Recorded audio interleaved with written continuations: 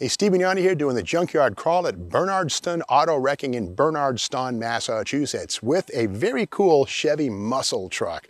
Now we all know that the custom sports trucks of the 60s could be had with 396s after like 67, 68, and of course in 73 up, which is what this cab is, the uh, square cab or square body type, you can get a 454 in a Chevy pickup truck. But what about these monsters, these C60s? Well, as we look on this thing here, there's a big block Chevy under the hood, but the valve covers say 427. Now you're gonna go, what? 427, that's a Corvette engine, right? Well, it is true. Up till 69, the 427 went away, became a 454 in 70, except for trucks. Truck 427s are different, and here's how and why. Before we explain that, let's take a quick peek at this thing. And the interesting stuff, this is basically a heavy-duty piece, but the air cleaner lid, if you know your mid-60s Chevy Impalas and stuff, this is a 283 air cleaner lid right here, minus the snorkel. We can see our L86. Oh, hang on, L86, that means 366. Hmm, that's a big block, it's a truck engine. To be continued. But again, beyond that, we see the massive truck air filter filter element with like twice, three times the surface area of an automotive type element. And the base plate is pretty cool. It has an extension on it to rise up a little bit away from the engine and these vents in the bottom stamped in to promote airflow. This is essentially a silenced, unsilenced air cleaner, truck only piece right here. Now getting back to this, this 427 we have right here, we see right there it says 427, but here's the thing. The Chevy 427 truck and car engines share the same four and a quarter inch bore and three and three quarter inch stroke, and they even share the same 6.135 inch connecting rods. But the truck 427 has a taller deck. Instead of 9.8 inches, it's 10.2 inches, and that's all seen right here. And that's all about having a taller deck for the special pistons these things have, which have four ring sets instead of three as on a passenger car. So again, this is a low compression 8.3 to 1, uh, 427 truck engine. And again, the beauty of these things really is the fact that uh, modern GM 572 crate engines are based on the very same tall deck block right here that we see in use. And the beauty of these Chevy truck engines, these 427s and the 366s, although 366s, 366 not so much, but 4 bolt mains, forged cranks, forged rods. So if you're looking for upgrade stuff your cast crank 427, uh, look no further than a truck 427. Now we see here, of course, the four barrel intake, iron, uh, but that's a Holley bolt pattern. And yeah, these things used a Holley four barrel even in the 1970s, like we see right here. The exhaust manifolds are very similar to 427 Corvette stuff, although they're center dumps, but again, the same um, streamlined sweeping runners. Uh, the heads are the same as car, but these are what we call peanut ports, which means they have very small ports. They're not good for high RPM airflow. But again, um, this is a useful block if you want to build a stroker, you know, like a 499 or a 572 or any of those crazy combos. Now this manifold here is not usable on a low deck 427 or 454, 396. It's too wide.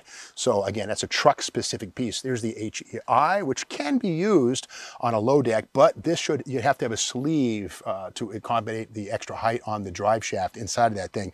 But other things that are unique to the truck 427 are the intake manifold with two thermostats, this one up top and then one here feeding the front of the water pump. So heavy duty stuff, you know, Chrysler big blocks, there's a 413 truck engine in Chrysler land that's kind of similar. It's like a 413 car engine, but it's not. So again, the crazy thing though, you see this Goodwrench 427.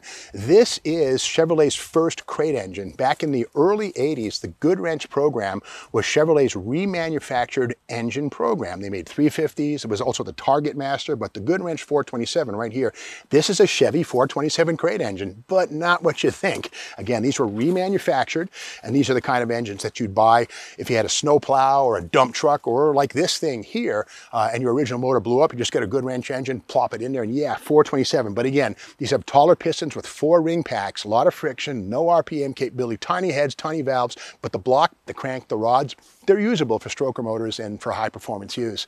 Uh, let's continue our search on this thing here.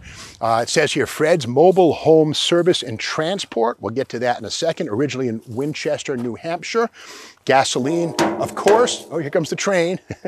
anyway, but gasoline. And look at this, a Ford gas tank right there. That's kind of weird. Probably added on or adapted from some other application. Who knows? But uh, Ford made tanks, of course, but uh, it found its way onto this Chevrolet. Now going inside, yeah, okay, there's the five-speed manual transmission two-speed rear axle, and we see the center, the buddy seat right there. Well, it's embossed with the words, not for sitting. That central seat is more of a suggestion for uh, like an armrest kind of thing. You're not supposed to sit on that.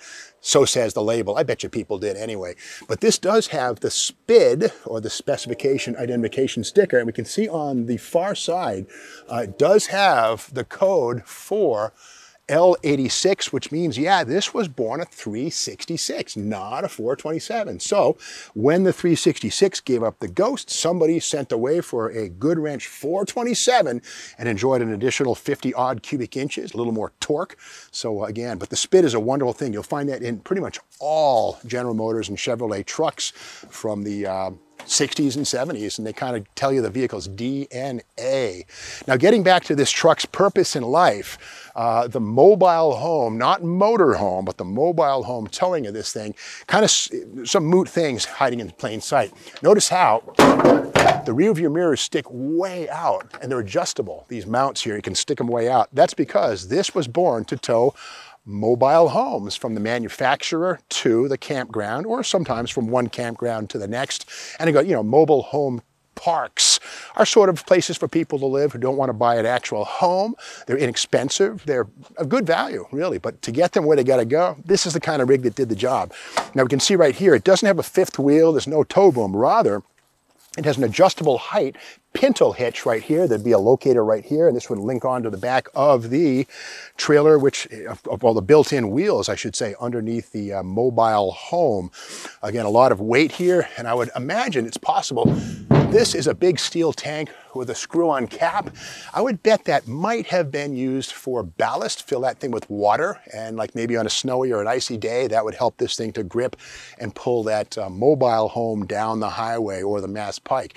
But again, this is the kind of truck right here that you would see coming down the slow lane with the wide load sign, with the pilot car in front of it, uh, with the pilot car behind it, as the DOT mandates.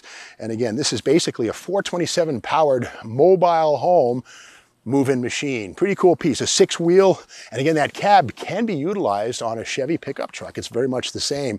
Uh, the rear window we can see though is specific to the big truck. Uh, the pickup trucks, the smaller vehicles would have a much wider rear window, whereas on the C40, 50, 60, 70, 80, truck, truck, truck, truck, they have a smaller window right there.